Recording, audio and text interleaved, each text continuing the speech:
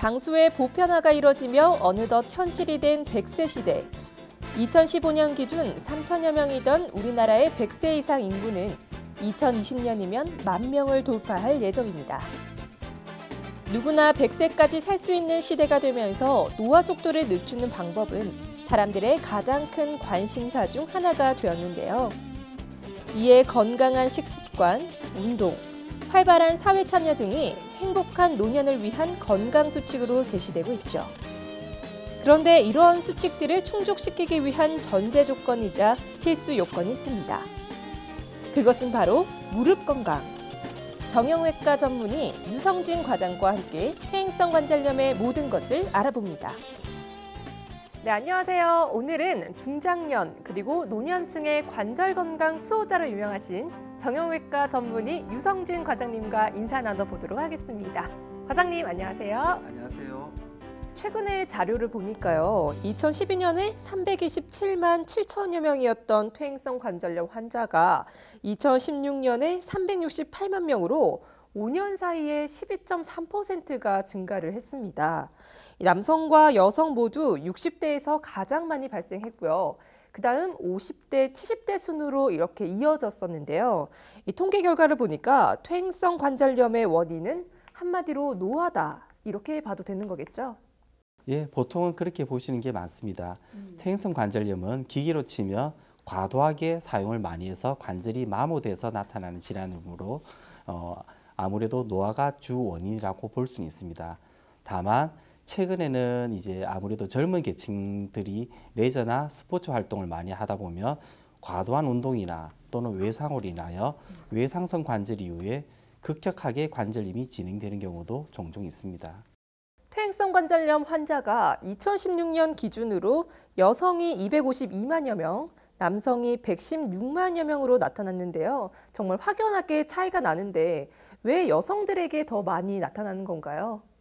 아무래도 어, 남성에 비해서 여성분들은 근력량도 또 작고 그리고 관절 연골도 약하다고 알려져 있습니다. 실제 저희가 이제 수술하는 환자들의 거의 85%가 어, 여성으로 알려져 있고요. 음. 그리고 특히나 50대 이후의 여성들은 아무래도 폐경 이후에 호르몬 변화로 인하여 관절염이 더욱더 악화되는 경우가 많습니다. 우리 어머님들이나 할머님들이 자주 하시는 말 중에 하나가 아이고 무릎이야, 아이고 시큰거려 하는 말이거든요. 이런 말을 듣다 보면 퇴행성 관절염에 걸리면 증상이 심해지고 통증이 심해지는구나 라는 걸 알 수 있는데요. 이 퇴행성 관절염의 증상들은 어떤 게 있는지 좀 더 자세하게 설명 부탁드립니다.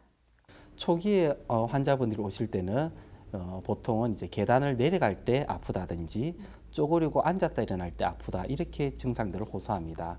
하지만 보통 중기나 어, 이후로 어, 중기 이후로 관절염이 진행되는 경우에서는 어, 보통 평상시 걸을 때도 통증이 호소한다든지 또는 무릎이 붓는다든지 또는 무릎이 마친다는 느낌을 호소하는 경우도 종종 있습니다.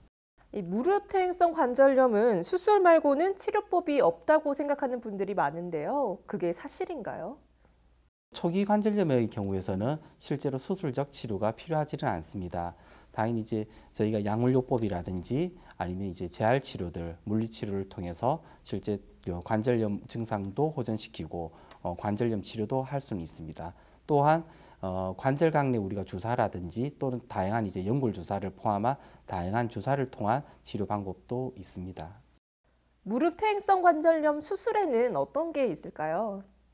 가장 대표적인 게 관절 내시경 수술과 어, 절골술로 어, 보이 어, 절골술이 있습니다. 어, 관절 내시경 수술은 저희가 손상된 관절의 한 1cm 정도 어, 절기 후에 어, 초소형 카메라를 직접 관절에 삽입을 한 다음에 실제 관절을 보면서 저희가 진단과 치료를 할 수 있는 방법이고 아무래도 이게 적개죄다 보니까 빠른 재활과 치료가 가능한 수술 방식입니다.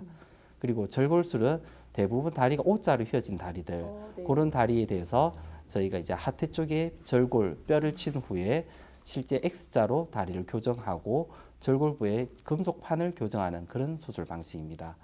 만약에 관절이 아주 심하게 망가진 경우 일반적인 수술로 어, 저희가 호전되지 않는 경우에서는 인공관절 수술을 할 수가 있습니다. 제 주변에도 인공관절 수술을 받고 많이 좋아지셨다 하는 분들이 많거든요. 그런데 이 인공관절도 사용 수명이 있다는 얘기를 들었는데 진짠가요? 실제 인공관절도 자기 관절처럼 기계로 치면 과도한 사용을 하게 되면 베어링 부분이 닳아서 마모가 된다든지 특수합금된 저희 이제 우리 금속하고 뼈하고 해리가 되어서 이완된다든지 하는 어, 합병증들이 생길 수 있습니다. 평균적인 저희가 인공관절의 수명은 15년에서 20년 정도로 알려져 있고요. 아무래도 무리하게 많이 쓴다든지 과도한 노동을 하게 되면 아무래도 수명이 좀 더 빨라지는 짧아지는 경향도 있습니다. 수술법의 발달로 높은 안전성과 성공률을 자랑하는 연골 재생술. 하지만 수술이란 말만 들어도 덜컥 겁이 나는 환자 입장에서는 쉽게 결정하기가 어려운 게 사실입니다. 최근 들어 줄기세포 치료가 세계적으로 주목받으면서 수술 치료의 대안으로 떠오르고 있는데요. 줄기세포는 모든 조직세포로 분화할 수 있는 만능세포를 말합니다. 쉽게 말해 자체 성장할 수 있는 능력자 세포라고 할 수 있죠. 퇴행성 관절염에 이 같은 줄기세포를 활용하는 줄기세포 치료는 관절의 퇴행을 억제하고 손상된 관절을 재생시켜 증상을 발생시키는 근본적인 원인을 치료하는 방법입니다. 줄기세포를 활용한 재생의학 치료술은 퇴행성 관절염뿐만 아니라 치매나 파킨슨병 같은 다양한 질환에 적용되고 있다고 들었는데요. 현재 퇴행성 관절염 분야의 줄기세포 치료는 어느 정도 수준까지 도달해 있는 건가요? 현재로서는 이제 자가줄기세포 이식술이라고 해서 자기 지방세포에서 줄기세포를 배양하여 관절에 어, 주입하는 수, 어, 시술 방법도 있습니다. 이는 아직 임상적 시험 단계인데 현재 임상 결과들은 비교적 양호한 결과를 나타내고 있습니다. 줄기세포를 이용한 관절 연골 재생술은 손상된 연골 부위에 한 4mm 정도의 작은 절개 후에 어, 줄기세포를 직접 관절에 주입하는 방식으로서 줄기세포가 어, 연골세포로 분화하여 손상된 줄기세포의 어, 그 회복을 돕고 또 줄기세포에 포함된 다양한 인자들이 통증과 염증을 감소시켜서 저희가 관절염을 호전시키는 방식입니다.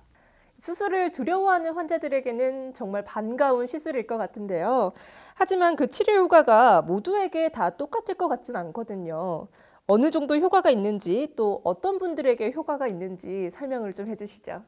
줄기세포의 장점은 실제로 1회 주입 시에도 어, 치료 효과가 어느 정도 있다고 지금 입증이 되고 있으며 그리고 실제 수술을 되게 어, 두려워한다든지 그리고 어, 수술을 할 수 있는 어떤 상황이 안 되는 경우에서는 줄기세포가 하나의 우리 저희가 대안이 될 수 있는 치료 방법입니다. 나이가 들면 무릎이 아픈 게 당연하다 싶어서 병원 가기를 차일피일 미루고 계시는 분들 있으시죠? 제가 퇴행성 관절염 초기 징후들에 대해서 소개해 드리겠습니다. 무릎을 굽히기 힘들다. 무릎이 자주 붓는다. 평소 걷고 난 후 무릎 통증이 2, 3일 이상 지속된다. 계단을 내려갈 때 특히 통증이 심하다. 일어서려고 하면 무릎이 아프다. 좌우 무릎의 높이와 모양이 다르다. 지금 보시는 증상 중에 나에게 해당되는 게 두 가지 이상 있다 하시는 분들은 전문 병원에 가셔서 정확한 검진 받아보시길 바랍니다. 어, 아마도 지금은 저희가 100세 시대라고 합니다. 하지만 건강한 100세, 행복한 100세를 위해서는 튼튼한 관절이 필수 조건입니다. 어, 관절염은 더 이상 불치병은 아닙니다. 어, 정확한 진단과 치료를 통해서 모두가 다 행복한 100세가 되었으면 좋겠습니다.